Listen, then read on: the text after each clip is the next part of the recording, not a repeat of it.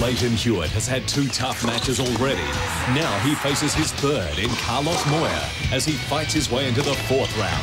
The Australian Open, tonight, 8.30 on 7.